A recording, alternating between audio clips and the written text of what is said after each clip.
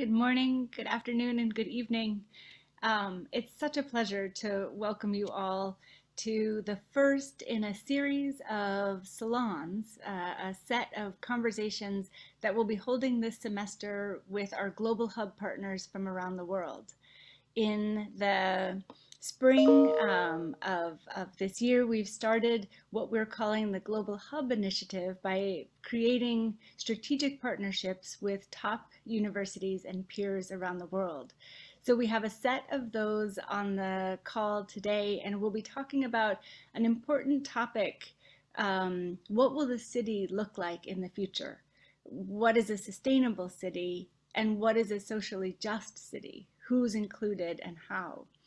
These are questions of global relevance, of course, and they really can only be answered if you approach the question from multiple perspectives, from the grounded location of different places and also through different disciplines and lenses. So we're pleased to have many colleagues here from our important Global Hub partner universities. We don't have very much time this morning, so the talks will be quite quick, and I'll just hand it over to Rachel Riedl, who's the director of Cornell University's Mario Einaudi Center for International Studies. Thank you so much, Wendy, and thank you to all of our panelists for being here to help us start this conversation and all of our audience members for listening in. I also want to invite our audience members to share your questions, your ideas, your responses in the Q&A function. We'll use those after we've gone through all of the introductions in order to continue the conversation and allow for responses to the panelists. Um, we will use these questions, um, the conversation itself as a springboard for the next steps of collaboration and, and really look forward to launching this today with all of you. So with that, I will be very brief because we want to move on to our experts gathered from the universities across the globe. And we're so thankful to you all to be here. Um, and we will start with Victoria Beard from Cornell University. Thank you, Victoria. Thank you, Rachel. I'm going to share screen quickly.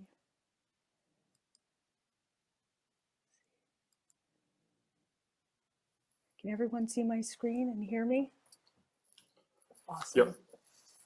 So I'm Victoria Beard. I'm a professor in the Department of City and Regional Planning at Cornell in the College of Architecture, Art and Planning, and I'm the inaugural director of the Center for Cities that's being started in my college and a fellow at the World Resources Institute in Washington, DC. These are the types of cities, and so I'm going to follow the outline that we were given, talk a bit about my own work, and then talk a bit about cities at Cornell, and then try to engage this uh, the intellectual thought challenge, I guess. The types of cities that I've always been interested in and have made me feel passionate about my work are cities that look like this, informal cities with a lot of self-built uh, human settlements. And indeed, these are the cities of the future, right? We know that or we all keep reading that 2.5 billion people are moving to cities in the next 30 years, and most of them will be moving in Asia and Africa. And I've been interested in the impact that this type of urbanization has on households. And more recently, very interested in how they have access to core services, particularly water and sanitation in these types of cities. So I was involved in a study, and this is again kind of referring to my own work that happened in five cities in Africa, five cities in South Asia, and five cities in Latin America that looked at equitable access to water and sanitation services. And we found that in these cities, only 58% of households had access to piped water to their dwelling. In 12 out of these 15 cities, water was intermittent or discontinuous. And this forced households to self-provide. And so this is a big issue in my work. They self-provide these services, and this often affects quality as well as paying much higher price. And they self-provide at both ends of the income spectrum. Not just poor households, but also very wealthy households self-provide their own services in this context. And in these cities, 62% of human waste is not safely treated. So now kind of changing gears and talking about uh, urbanization or the future of cities at Cornell more broadly, AAP is very excited to start a new center for cities in our college. The idea is that this will bring together the three departments in my college and connect us to institutes like the Einaudi Center, the Atkinson Center, Cornell Tech, uh, all of these actors on campus that are interested in the future of cities and become a platform for bringing us together interdisciplinary and also engaging outside Cornell. We'll do this through initiatives, supporting faculty and students in their research and engaged learning. We have three initiatives. I'll just go through these really quickly. One on climate adaptation, where we work with Slum Dwellers International in Mukuru, Nairobi. One on progressive cities, that's uh, focused on the south side of Chicago and uh, regenerative urbanism, working with Sweetwater Foundation and a, alumni of our program. And then also this third initiative on the first ever global survey of city leaders, engaging a thousand cities around the world in 165 countries. We've translated our instrument into 23 different languages, and we're working with UN Habitat, SDI, UCLG, Mayors Migration Council, and ICLEI. Now for the thought experiment and trying to keep it in the four minutes here. Um, as, as kind of Wendy said in her introduction, anyone interested in the future of cities knows that we have to engage with sustainability and issues of equity. I don't think this is completely captured in this phrase of environmental justice. I think there's actually an important tension between these two concepts that needs to be dealt with. And that is going to involve, and so this is kind of just maybe uh, not an incoherent list of what I'm thinking about as a research agenda. It's going to involve politics, engaging with the tension, again, between public and private interests, coalitions, collective action. And I think very importantly, um, as I talked Wendy out, out of naming the salon smart cities, I think there's a very important tension between technology and innovation. And so much hope is put on technology, but really I think we need to think more about innovation, some of which involves technology, but some of which doesn't, just out of the box thinking. And because I'm in city planning, I'm very concerned with engaged research and the transfer of knowledge to action. Thank you. That is wonderful, Victoria. Thank you. And well on time. Love the ideas that you've launched us off with today. Thank you. Our second speaker will be Dr. Sutee Anantsuksomsri from Chulalongkorn University. Thank you for being here. Hi, uh, greeting from Bangkok. But first of all, let me sh uh, share my screen first. Okay, so uh, greeting from Bangkok, Thailand. Uh, first of all, as a Cornell alumnus, I'm so grateful to join this event. My name is Sutee Anantsuksomsri from the Department of Urban and Regional Planning, Faculty of Architecture, Chulalongkorn University. And I am also the head of the Center of Excellence in Regional, Urban, and Built Environmental Analytics at Chulalongkorn University. My research interests are on the issues related to urban economics, regional and urban development, complex system, and geoinformatics and my research involves the future of cities in many aspects. Uh, my current research project uh, titled Sharing Economy for Urban Sustainability studies how socio-economic activities based on the concept of sharing economy, namely food delivery service, share accommodation, share mobility, and public space affect the dynamics of Bangkok and its sustainable development. This project is a collaboration between Chulalongkorn University and many international universities. And one of uh, many interesting findings from this project is the impact of food delivery services on people's behavior in the city. As you know, in the past, a restaurant needed to be in a good location to attract customers. Today, however, customers can look for restaurants anywhere. Now, the important thing for restaurants is to have a good presence on the internet or digital platform to be found.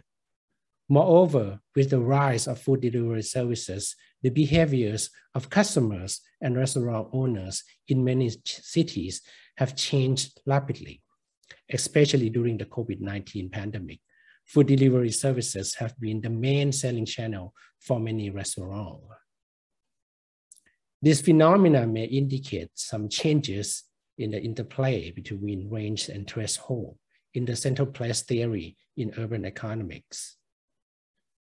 And in addition to uh, for sharing economy research projects, one of my doctoral students is working on the roles of co-working spaces in the working spaces in Bangkok.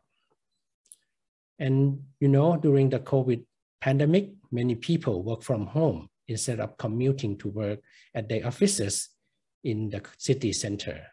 Some people choose to work in a co-working space in their suburban neighborhoods because their places may not be suitable for working from home. not only the changes on the employee side, but also some employers have decided to change work policies by providing alternative work arrangement, reducing uh, permanent office spaces, and renting temporary spaces in a co-working space. This current situation provides unique insight into how well work from home and co-working spaces work. And the policy on working spaces may play a vital role in reshaping the structure of our future city. This phenomena may indicate some changes in the bid rent theory proposed by Ricardo in 1809, von Thünen in 1826, and Alonso in 1964, which has been one of the pillars of urban economics and urban planning. So uh, my further studies related to uh, future cities will explore the impact of digital on city. The empirical evidence from research can inform us about the validity of some classic urban econo economic theories and concepts that may change the direction of our future cities. Thank you. Thank you so much. That was wonderful. Um, next, we will move to Dr. Jaideep Chatterjee from Jindal Global University. Thank you. Thank you. Thank you, Rachel. Um, good morning, good afternoon, good evening to everyone. Thank you for inviting me to be a part of this series. Um, feels good to connect with the center again. The last time was 22 years ago when I think I got my first grant as a doctoral student to go and do some initial field work in India. Um, now, uh, even today, many in many ways, my work stems from those moments of in a, a field work. While then I focused on questions of how architects and designers understand their professional identities, their professional organizations, and their own expertise. Uh, my work today is much more concerned with the intellectual grounds uh, that ground architecture, design, and the allied disciplines of physical planning or civil engineering. Uh, specifically, I'm interested in how a particular idea of time, temporality, which while never acknowledged within these disciplines, is in fact a central organizing principle of these disciplines. And my recent work uh, sort of especially focuses on the various forms of representation um, whether these be technical drawings, presentation drawings, digital modeling, analog modeling, animations, the flow of material and work, which simultaneously, I think, disseminates, um, propagates, sometimes contests this notion of time, of temporality. Now, uh, the research group that I'm representing today, and we are a you know very uh, new group, uh, the, the Jindal School of Art and Architecture, of which I am uh, the executive dean. We're a, we're a, new school. We're just pulling all of this together. Um, also, broadly coalesces around this uh, idea of time, and and so what we are especially interested in is in the term future in the topic of today's discussion, future cities. Um, now, this term future has had a long history in the discipline of architecture, design, physical planning. It, is, it has been kind of a linchpin, and in the last 200 years or so, giving a vision of the future has been uh, sort of the bedrock of these disciplines. We see this right from the 19th century onwards. Uh, in the mid 20th century, you know, uh, we uh, we see the La Sarraz Declaration, then the International Congress of Modern Architecture, you know, where a template for cities and pedagogy for architects, designers, and planners is developed. Um, India, you know, in, in my own work, I've shown how we were a special beneficiary of this, you know, right from the master plans of 1960s, um, you know, to the various educational institutions, uh, efforts towards the legalization of the profession, um, and and uh, you know, uh, indeed, the future, this this the stake to, to providing a vision for the future has been central. Now, what is also noteworthy is that this future was not only central to architecture, engineering, and all of these disciplines, but as much of the recent work has shown us, was central to discourses of nationalism, history, development, all of that, um, too. But then this is a uh, this idea of the future is actually a very problematic one and and and as many of the post-colonial uh, writers have shown us that this uh, idea of the future is always always refers to a future that will be and not only is this a future then in that sense which is permanently deferred but also as a future which is since it will be a kind of a history in this sense, right?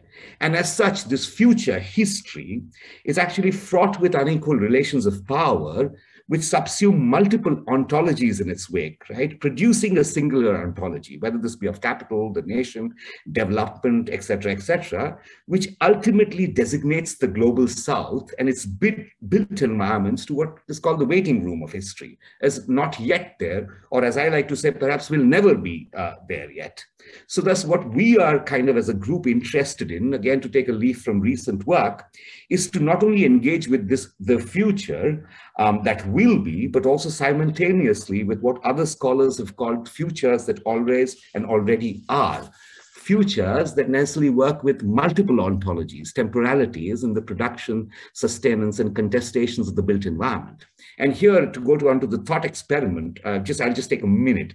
Uh, three questions, three things that we want to look at, right? We want to look at that how are these big projects, which are there, these big vision projects, right? How are the, the goods, the flow, the money, the knowledge shape these projects on ground? And what kind of unruly, unsustainable environments do these projects leave behind, right? Um, second area we are very interested in is looking at alternative ways of making which actually disrupt this kind of big vision projects. So alternative technologies, alternative, um, uh, you know, on ground using local things and, and, all of that. And finally, number three, and I'll just quickly close here, is the is the is pedagogy itself for both design, architecture, civil engineering, planning schools, where we want to kind of rework moments, I think, which are constantly perpetuating this kind of a vision of the future, right? So I'm just going to stop here.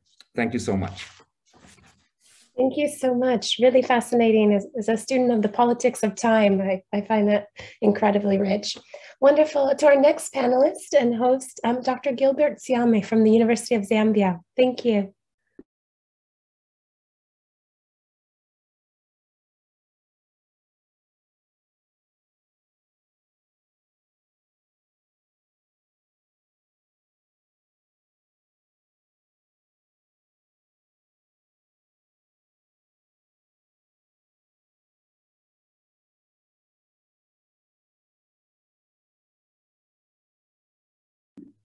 Gilbert, we can't hear you yet.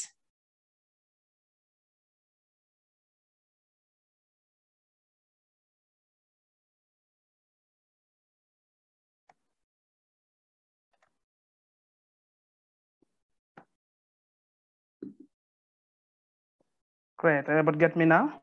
Yes, perfect. Thank you. Great. Thank you so much. Um, I'm based in Zambia, and I'm going to speak from the positionality of uh, Zambia uh, Southern Africa and a bit of um, Africa and the global South. So largely my work engages with the questions and issues affecting global South cities and particularly Southern Africa.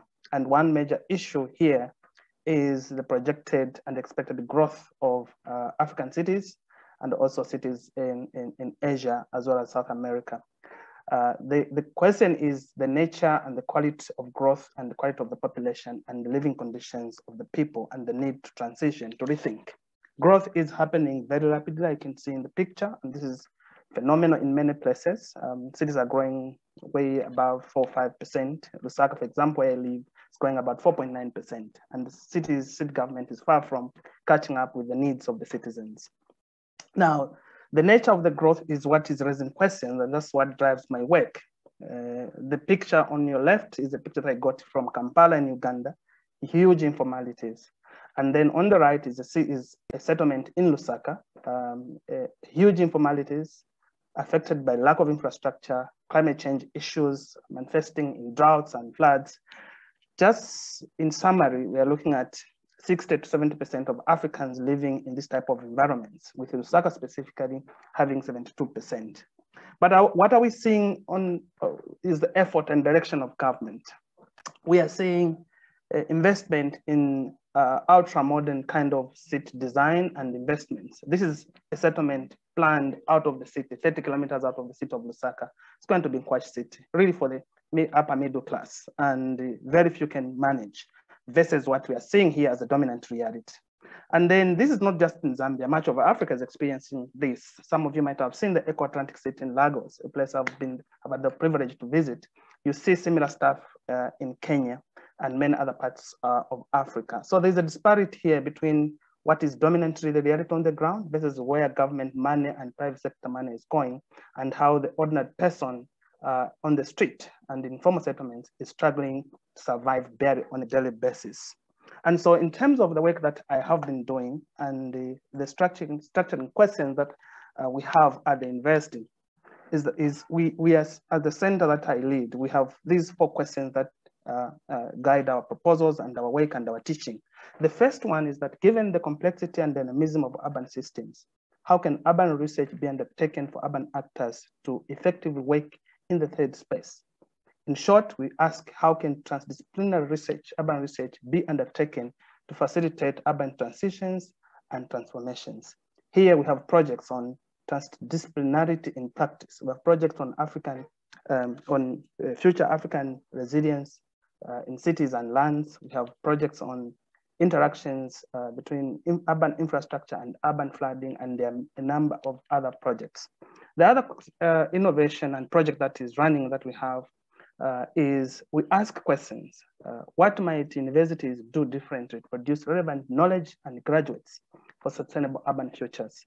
Here we emphasize in our work on innovative pedagogy, and we have a master's program, which is Master of Science in Spatial Planning, that depends on teaching based on lived experience, lived reality in the communities, with a lot of collaboration with Slum Dwellers International, ICLEI, and several others.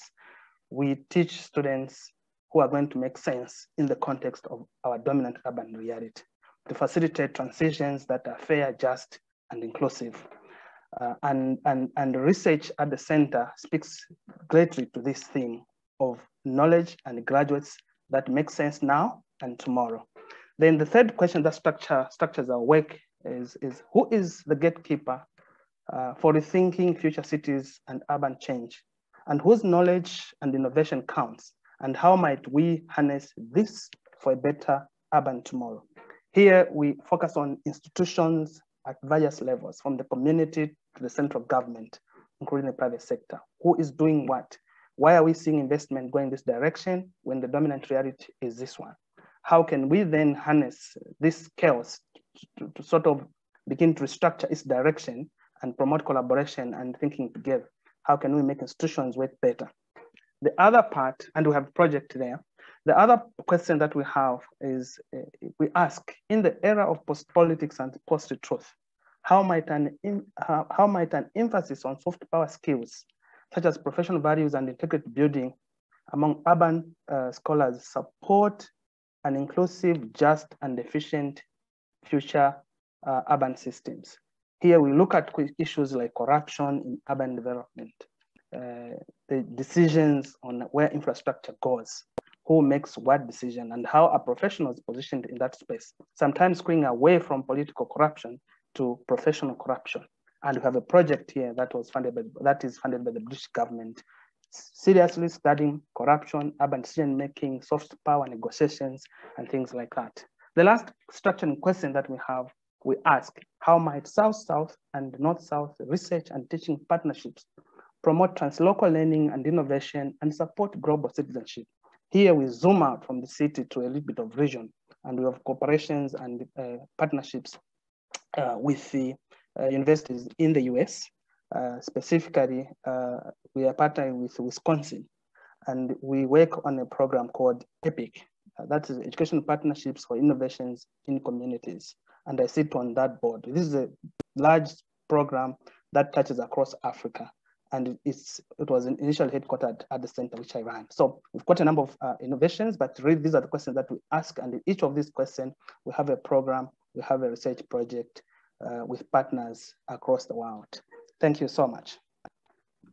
Thank you so much, Dr. Siame. Really wonderful to hear about your work and ongoing projects. Next, we'll have Dr. Max Zhang from Cornell University. All right, thanks. Uh, my name is Max Zhang. I'm a professor of mechanical uh, engineering. I'm also a faculty, faculty director at the Cornell Atkinson for sustainability. Uh, if I if I want to have one wish uh, for what the future city would be like, uh, I'm I'm hoping those are equitable one, right? So I will focus on my talk, my four minutes, on my perspective of the challenges in the uh, environmental health inequality uh, in terms of the air quality, uh, but also talk about the opportunity from the Atkinson, Cornell Atkinson uh, broadly. Um, so, you know, I, I'm glad I'm, uh, I, uh, I spoke after uh, Dr. Siame, right? So from Zambia, and uh, there's a number, a large number of uh, health, uh, health studies on the global health burden, and this is just one of them, right? So showing the reduction on the birth weight for for babies, right, attributable to total air pollution. And what's what make it very striking, as you can tell, is the uh, the largest health burden, right? So occur in the sub-Sahara uh, Africa. Right? And uh, from another perspective, uh, this is a report showing the availability of air quality data globally. Right?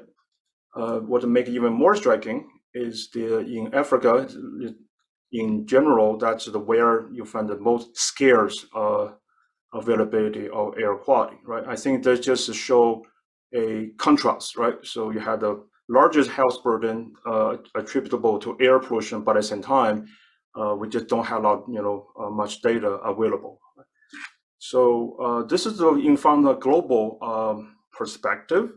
And uh, if we looking in the U.S., this is a satellite satellite views of the Hunts um, Point produce market in New York City, which supply about over 40% of the vegetables uh, in the city. Um, uh, when we first, you know, when I first looked at the photo, I couldn't tell what exactly all the boxes are, right? So it's a turnout they all diesel engines uh, running idly, uh, you know, running right to supply cooling uh, to the market to maintain the temperature of the vegetable in the market, right? So because the lack of um, cooling capacity in the market, so they have to use all those engine, you know, use uh, those diesel engines, uh, provide additional cooling, right? So as you can tell, we are looking at the uh, literally thousands of running diesel engine in this very concentrated area, and uh, so there's a consequence, right? So when we consume uh, vegetables, right? So there's a consequent environmental consequences uh, associated with it.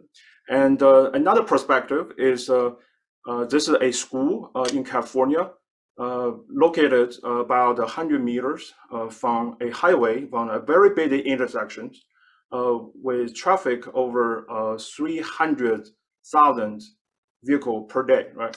And um, so it's not just occurred in uh, California, actually in almost every state, you can find those schools located very close to the uh, beta heavy intersection, and they happen to be, uh, you know, come from the family of low income or the minorities. Um, so uh, hopefully this is my uh, my uh, my proposal, right, to the to the global hub to address those inequality issues, and so I do want to mention here the Cornell Atkinson provide those opportunities because the uh, it's a impact-driven institution, right? And uh, over 400 uh, faculty fellows across campus, and uh, it has been perceived as a hub of uh, sustainability research uh, on campus. It drives climate, energy, food, and health. And I think most importantly, this is my last slide. Um, so Cornell Atkinson already had this international connections, right? So having so over a year has been funded the project for Cornell researcher to work with international international partners, and we do have you know I uh, we do have uh, uh, I think you know working together right. Uh, hopefully we'll uh, be able to address those uh, environmental health equality across the globe. Thank you. Thank you so much, Dr. Zhang. Wonderful. Um, Next, we'll move to Dr. Jonathan Guillemot at the University of San Francisco de Quito.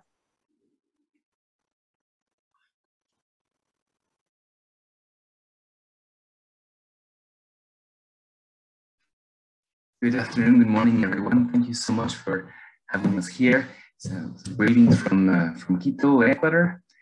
Um, I'm very happy, very uh, thrilled to be here, and I'm going to me be on a more of a parallel topic, parallel in the sense that it's rarely addressed when we discuss um, when we discuss um, urbanization and future cities, the topic of aging, one that I find uh, tremendously interesting, of course, well, it's, uh, the field I, am in. And um, just because it's a topic that is rarely addressed, I'd, long, I'd like to, to put some five big questions that are related to aging in the future of cities. We see usually cities as the young, as the youth, as the future, but it's also a, a, a space for aging. So maybe the first question is about socialization and intergenerational uh, socialization in future cities. We're not talking just uh, Europe and North America, we're actually talking the whole world uh, in terms of this problematic following um, increased mobility of people and the uh, decline of the single house uh, model uh, for intergenerational housing. So a very important point that I think is worth being discussed. Um, end of life and death in future cities. It's also one that is rarely addressed, which I think is a fundamental one. Uh, how do we include this moment of life as part of the future uh, city?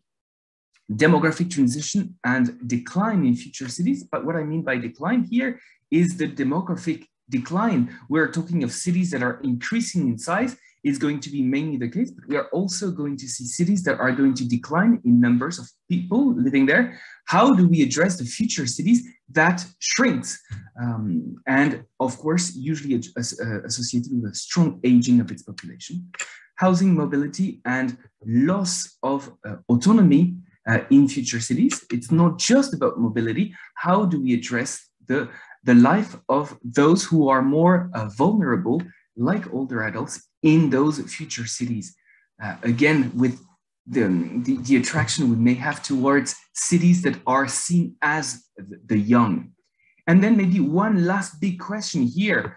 Um, the global south, uh, as it is the case in Ecuador, are, uh, is, is a region, a very immense region of the world where most likely growing older is going to happen before uh, the region grows richer. This is a standard uh, or very common expression in the field of gerontology. How do we address the aging of a country when its occurrence is happening before the country uh, becomes rich? And that's a fundamentally a, a, fundamental and big question that the global north have, uh, did not have to face. So a few goals that we are uh, addressing uh, currently at, at the university, uh, the constitution of an evidence-based um, um, system around an age-friendly Ecuador. Uh, around three main projects at the moment, and they are uh, growing ra rapidly. The first one, the one that is most advanced, the extended uh, caregiver training. How do we train family, but also professional caregivers within that space of uh, new and future urban spaces where family caregivers are not necessarily the ones that are present there. Um, Age-friendly cities network, also the city of the future is seen as an immense city, but it's also a network of mid-sized and small cities. How do we address the topic of um, expertise in the field of aging for mid-sized and small cities. So we're working towards building a network of cities in this regard. And uh, more specifically in the Galapagos archipelago, the, uh, the, the, the, project of an integrated gerontological campus for older adults in this context of an urbanizing uh, Galapagos. Be beyond the field of aging, uh, the one of um, the one of uh, the one health approach, uh, not just uh, human health, but also animal health, environmental health, um, to, towards a, a, larger. That's my, my four minutes. I'm going to stop there. So just a few things that we can offer at uh, Universidad San Francisco de Quito. I'm not going to go much further, just to maybe concluding on uh, futures research and it's also about methodology and how the Delphi methodology can be one that is uh, quite useful into developing um, uh, approaches that include the voice of the people as well as the experts. Uh, thank you so much for your time. Uh, it's been lovely exchanging and I look forward to questions and conversations. Wonderful. Thank you so much, Dr. Guillemot. There we have already, I'm seeing so many connections in terms of time across space and scales and within a, a single lifespan. Um, next, we have Dr. Isaac Arthur from the University of Ghana, Legon. Thank you, Dr. Arthur. Well, thank you. And um, hello to everybody. Um, as I've been introduced, I belong to uh, the University of Ghana as a lecturer in uh, human geography and also the director for the Center for Urban Management Studies. Um, uh, reflecting on the future cities um, within the context of my research, um, a number of uh, themes or things uh, come into play.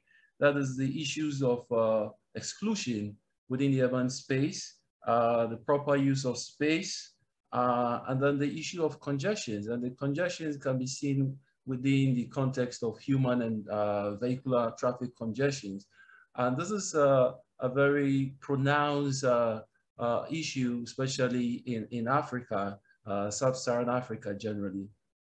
And um, a lot of times we think about how we want to address some of these issues and um, but looking at the African phenomenon, I think that there are a lot of uh, ideas that have been uh, put across, you know, in terms of how to address these issues and with respect to how the future city should look like.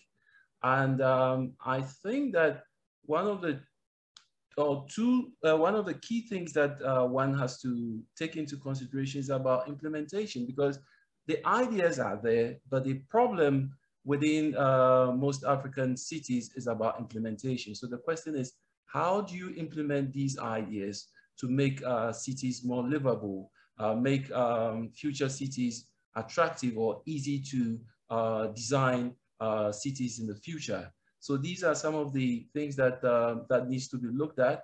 And then secondly, is about education. We talk about the fact that uh, children are the future uh, leaders. So the future actually belongs to the, uh, the children and yet unborn. So what are we doing in terms of educating uh, younger ones uh, to understand the environment very well and also be able to develop ideas which can be used in the design of uh, uh, design and development of the future cities. So these are some of the things that I sort of uh, try to understand uh, within my, um, my work. And then um, in terms of um, uh, connections, um, um, I belong to a number of um, networks, uh, the uh, New African University Networks, the Sustainable Cities Partnership, and basically all we're doing here is to promote sustainable uh, development in cities uh, in terms of uh, planning and uh, as well as development. Uh, so as the center director, I am looking forward that to partner with um, academics, um, practitioners, and to think through ways in which um, uh, the urban built environment could be uh, improved or developed um, within the future cities uh, context. Thank you. Thank you so much, Dr. Arthur. Wonderful. Next, we will go to Dr. Nick Holliman, King's College of London.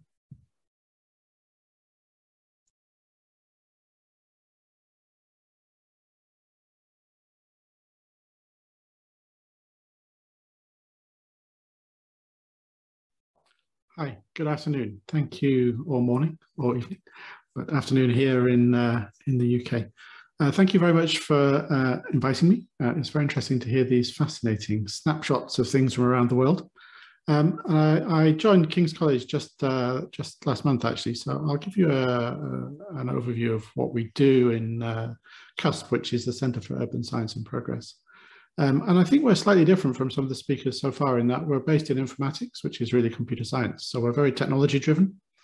Um, and I think the things we'll be doing are, very much around the technologies related to cities and how they're changing the way we think about cities.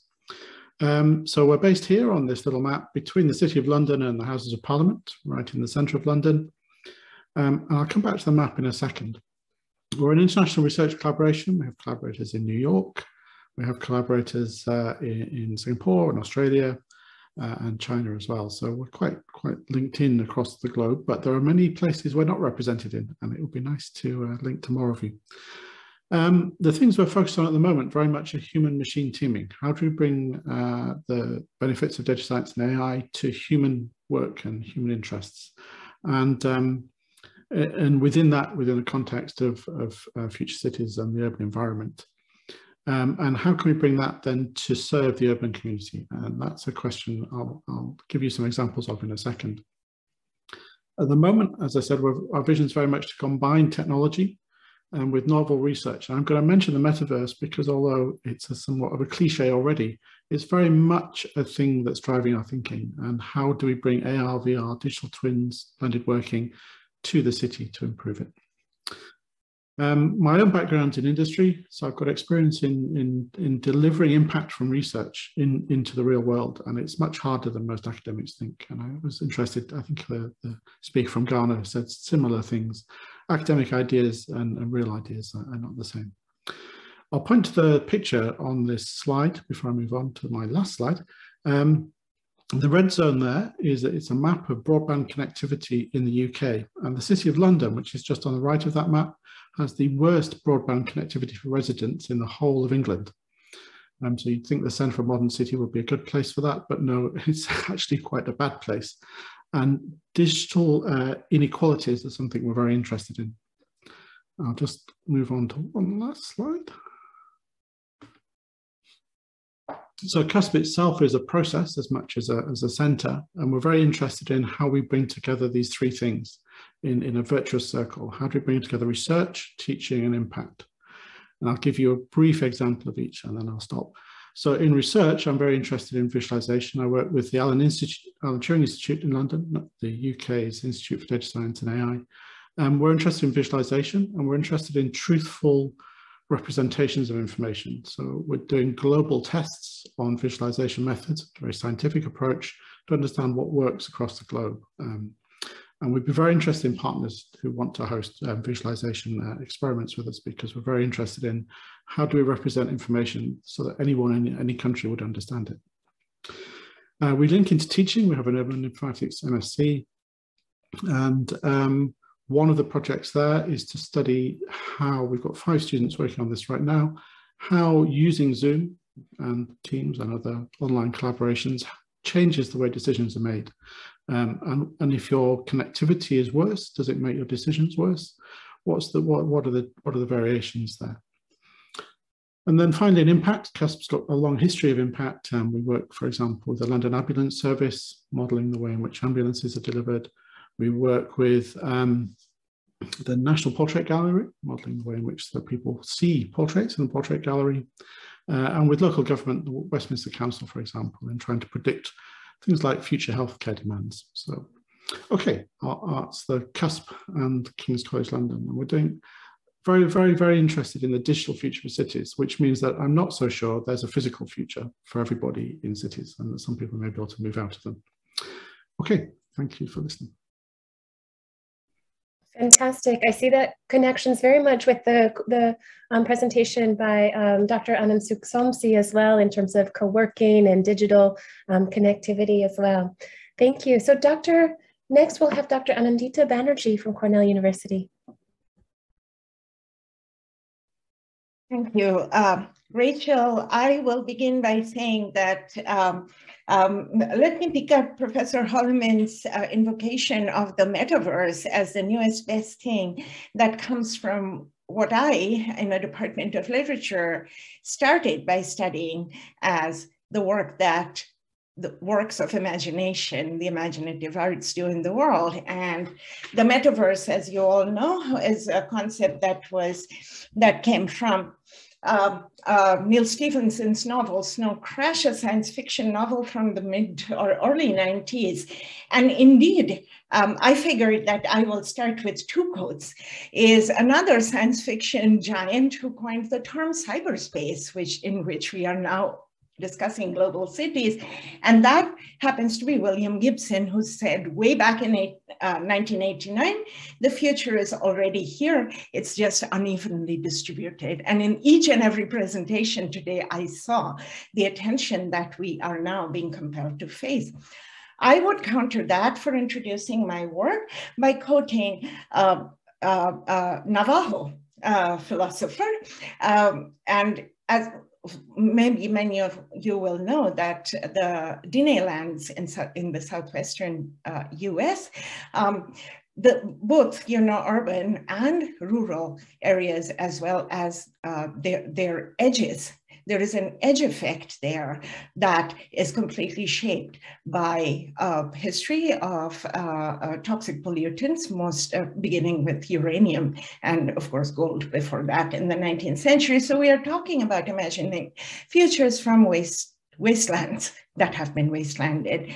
This is for me very important because um, my work primarily um, that has brought me into really close contact and productive collaborations with students and scholars and colleagues of multiple generations at uh, the Atkinson Center um, here at Cornell, as well as the Einaudi Center that's hosting this meeting, as well as a number of units. Uh, a majority of my advisees right now are from architecture, city and regional planning, as well as landscape architecture in um, uh, uh another uh, part of Cornell uh, how we work together, uh, how I got here, where I don't work with humanists anymore practically, is uh, my interest in knowing at uh, what kind, what work does imagination do in the world?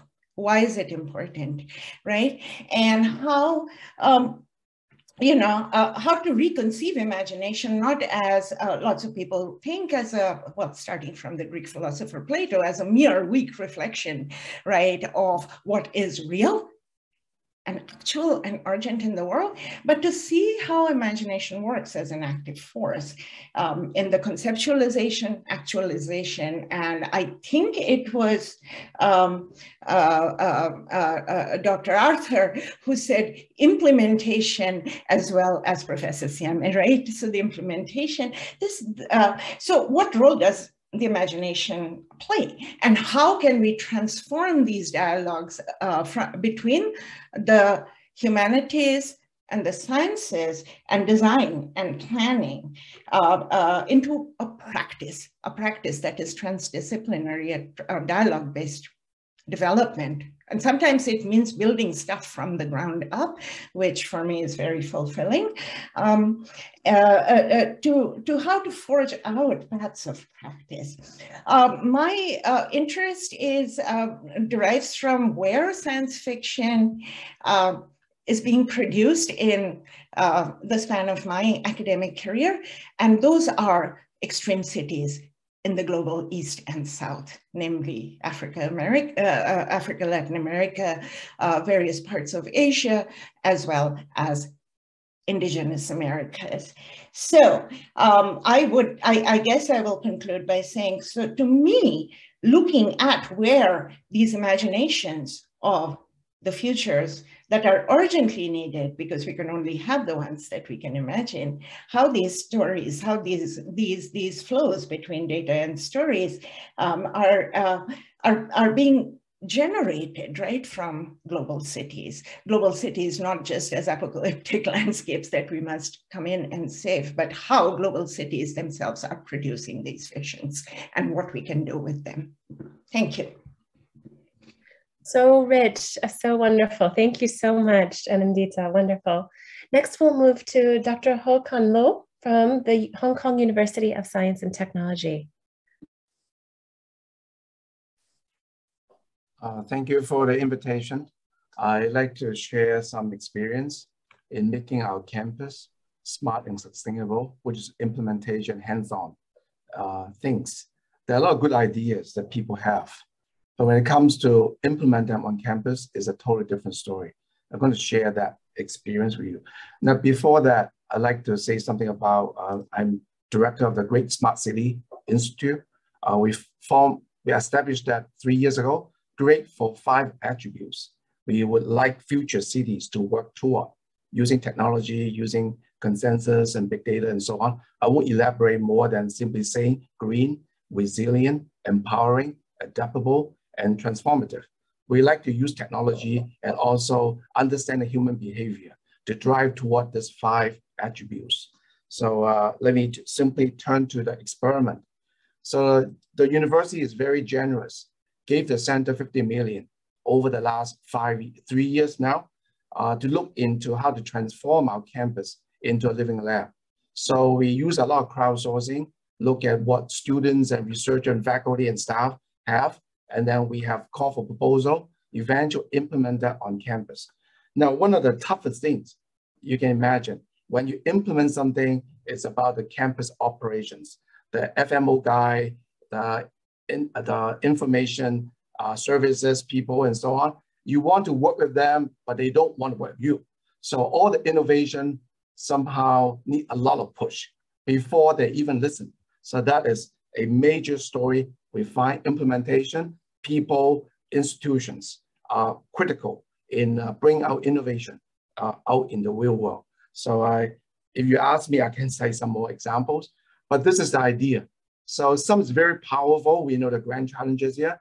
Some are more achievable, uh, like uh, how to make the building more efficient, how to do gray water recycling. What we try to do is bring them together so that we look at what we can do immediately so that we can learn, uh, create pathways for the future. So those are the long-term powerful goals and what we can do now, how we want to project to the future. And that turned out to be a very fruitful experiment in the last three years. Uh, so this is like uh, some of the sample projects. We have covered a lot of different areas, uh, you know, from water, mobility, energy, biodiversity, and so on. So we fund those projects, let them implement it on our campus. And then we build a digital twin, make it use for building management services, cut back on AC and so on. We do a, a AI camera look at birds, look into a green biodiversity. Uh, is global warming affecting the migrate, migrant birds going through our campus or not? So look into various sorts of projects. Now, eventually, uh, we also look at the entire campus, put solar panels everywhere, every inch of our roof, and experiment, we find that with all this effort, we only save about 3% of our electricity consumption. To me, that was appalling. So little. So we have to do much more if we were to go beyond using solar panel to solve our energy kind of problem in the future. So we learned a lot along the way. And then uh, uh, that should be my last slide. I welcome any partnership.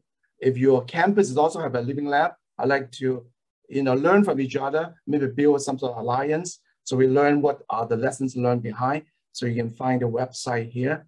Uh, I think there are a lot of lessons learned in the last few years. This is the end of my third year of this project. We still have some money to look for the, a few more projects for the future.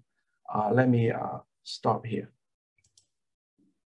Fantastic, Professor Hong Lo. Thank you so much. We also at Cornell University, I'm sure you're familiar with the Lab of Ornithology. We know some of their representatives are on this call right now. Uh, so great connections there, as well as our campus as a living laboratory um, for geothermal and the like. Next, last but not least, Dr. Roberto Ponce Lopez from Tecnolo Tecnológico de Monterrey. Thank you. Thank you. Thanks, Rachel. Let me share my screen. Okay.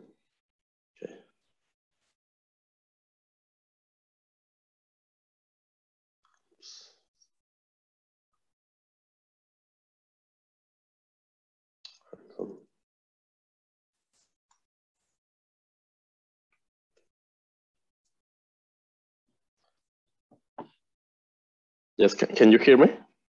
We can hear you, but we don't yet oh. see the screen. Yes, I don't know what happened. Okay, I think it's working now. Sorry. Este, so sorry, just, okay. Let me try again this works. Okay. Perfect, thank you. I don't know what's going on with my computer. It seems like I cannot share my screen, uh, but uh, okay, I'll, I'll try to go with my presentation. Sorry about that. We can uh, we can see your screen. Oh, you can see my screen? Okay, yo, now it's working. I think it's just like a lag in my, okay, now it's working, yeah. So um, Future Cities, I, I, I'm a researcher and professor at the School of Government in Technological Monterrey. And I will talk to you about what we do on future cities uh, here in my research uh, lab. So for Tec de Monterrey, cities are very important. It's on the vision for the 2030 and the 2050. There are three or four initiatives spread in different institutes and, and, and schools across the university. And what I could say is uh, in Mexico in general, not only in my institution, when we talk about future cities, we immediately associate it with smart cities. I mean, it's not my case, but uh, the situation here down here in Mexico is like um, smart cities has become a sort of buzzword where uh, kind of policymakers and uh, even my colleagues and of course the private sector as well, they they tend to have this uh, uncritical faith on how technology will solve the, the most challenging problems that we have in our cities. And what we try to do, and I try to do in my research lab, is to content this vision on, on technology and, and, and, smart cities in Mexico. We try to do uh, high quality research, data driven, based on quantitative methods on, on, on different issues of, of the cities. Um, this is the main project that I lead now. It's, uh, it's called uh, the Cost of Urban Sprawl in Monterrey. Uh, this is the, the, map of the city of Monterrey. What has happened over the past 30 years is that, that the population increased by two times, but the urban area increased by three times. Um, so in consequence, the city lost like 40% of its population. This is happening not only in Monterrey, but this is happening, this is the model of growth that we have in our Mexican cities. We've studied this pattern and it's very common. What is happening is that we are depopulating the central areas of the city and all the growth is happening in the suburbs, in the outskirts. So everyone is migrating to the suburbs, the low income families, the middle income families, and also the high income families. And so we, we try to address this, we call them width urban problems. Um, for instance, housing affordability in central areas. So this is one of the main uh, causes of urban sprawl in Mexican cities. We, we have, uh, it's very hard to renew uh, central urban areas. Uh, also, the central areas become highly commercial. So the cost of land is expensive and, and, and becomes daunting to have like a proper supply of affordable housing in those areas. Also, lack of transportation infrastructure. Uh, cities are highly segregated. Crime, also crime kind of intervenes with uh, uh, urban sprawl. Uh, there's been changes in the urban form as well. So the city grows, what, what are the implications for the morphology of the city? And, uh, and we try to work on future scenarios of growth. So this has like the main project. This is an example of what we're doing on to characterizing urban form. These are the main concentrations the spots of uh, the areas with the highest concentration of jobs in the city. So we, we propose like different data-driven approaches to characterize the urban form in Mexican cities. And we work a lot with social housing. This is the, the pattern that we have in our cities.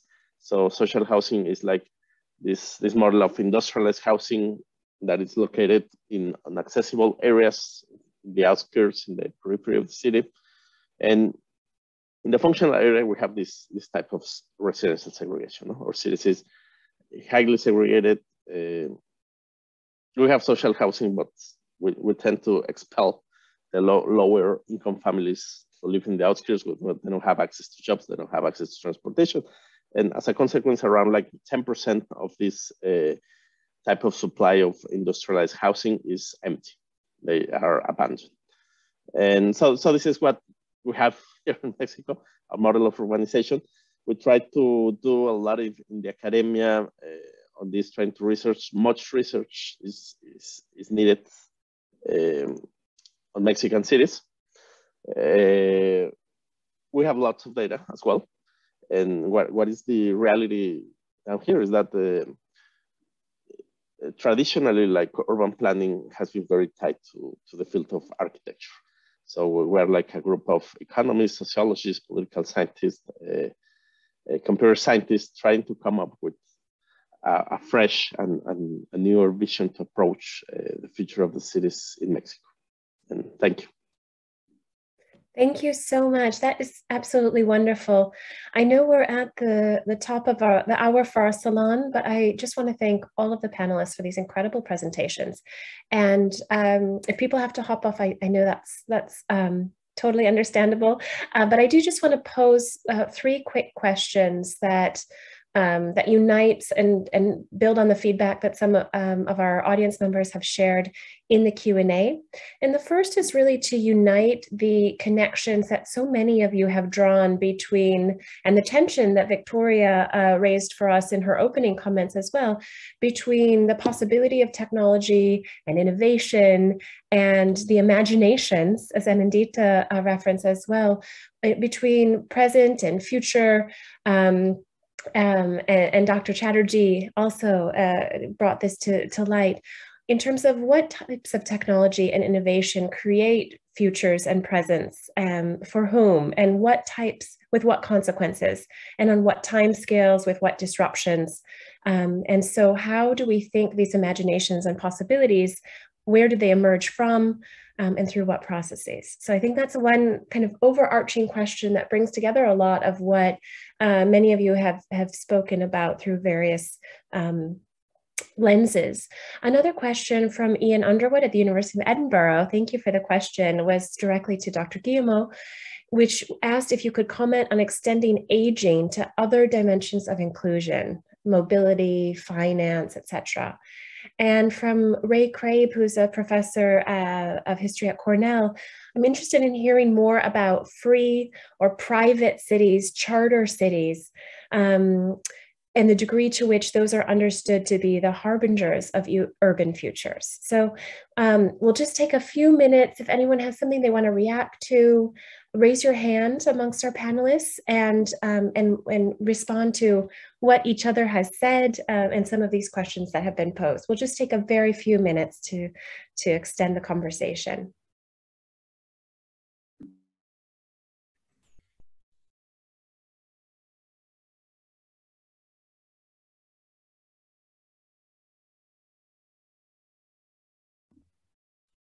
Dr. Chatterjee? Um, this is not so much a question, but just a kind of a thing that came to my mind when Max was talking about the air quality. You know, we were we we did one of these projects with air quality in in in New Delhi, and what was interesting is is, you know, Delhi has been, you know, it, at one point of time, it wanted to import these massive air purifiers for the city, which they were planning to put in the middle of the city in a bid to change uh, the entire uh, air quality of Delhi. Um, and and and if, if that was one big sort of technology, the other thing that's always happened is that you know air quality purifiers that, that exist, and most of them are placed at government um, stations uh, in India and many parts of the country. They're all placed in these wonderful compounds which have the most trees, right? So the kind of data you actually get from them is very, uh, uh, uh, uh, you know, different from what is happening just outside the gate. So one of the things that you know, this disruptive thing that we were doing is we were um, we were creating these very low cost uh, technologies for, uh, you know, and, and easily available technologies with which people could just make an air purifier. And as a result, what happened is, um, well, A, we, in sort of point collection of data, we started getting a mesh network idea of air quality in and, and much more finely granulated. But what the, the, the, other thing that I sort of want to bring to Max's notice was this, that what happens now is that every time that the, that the government comes out with the data on air pollution, we have all these people who we distributed these uh, little uh, things to, they go right in front of the government and say, haha, that's not true. Look at what's happening here. So there's a very interesting politics that's ha- that's developing because of this air quality mon- uh, uh, monitor technology, you know, and uh, that's what I meant by kind of disruption and, and something like that happening. So it, it, I'd, I'd, be interested to hear uh, more about the Atkinson Center has been doing in terms of, of uh, you know, air quality. How has it been tracing? Is it the older way of, of point collection? How, how has that been working? That's just a question uh, that came to mind. Um, yeah, and you know, this is really uh, interesting question. I saw also Victoria also post some link here on the chat. Um, my, you know, I think my quick response here is that um, uh, so there's always uh, technology uh, but also there's the engagement piece, right? So um, how you turn uh, how you turn technology so technological technological solution into actions. Uh, I think that's the you know what I see. This is always the the the most challenging last mile uh, challenge is the action part. Um, we can we can collect data. Uh, there's a different way to collect data. There's different technology to mapping the air pollution level. Uh, but I think what's really, you know, this is where the impact come from is the how we can lead, you know, all those lead to actions, right? So I think this is where I think the, a, you know, it's it gonna be a multidisciplinary uh, approach to uh, to it. You know, in some way, that's what uh, Cornell Atkinson uh, is known for. Is the when you try to solving a problem, you know, actually solving a problem or have an impact, it gotta be a multidisciplinary uh, team addressing it. Right. I mean, that's my short one, but you know, maybe in the offline uh, discussion. This is absolutely just the beginning. We look forward to the, the continued discussion. And Anindita.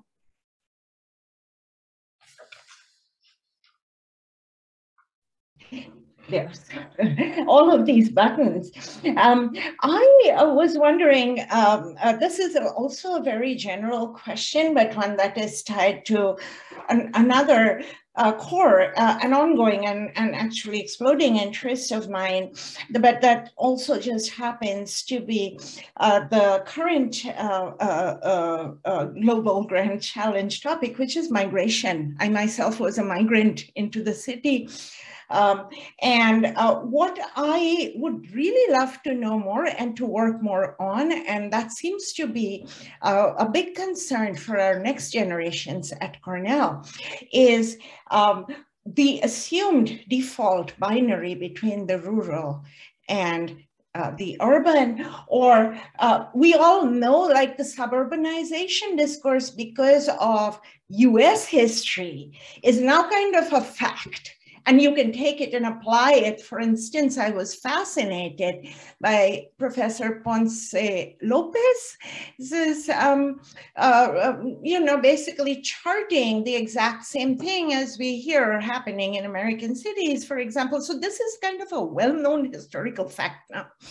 Where do we go from there in rethinking the rural-urban suburban triangulation. I mean, it's not that neat, right? Jindal, for example, when I was an undergraduate at JNU, was crabland. it was the rural. In my memory, I cannot I've not been to your campus, Professor Chatterjee, but it is very difficult for me to imagine a university there.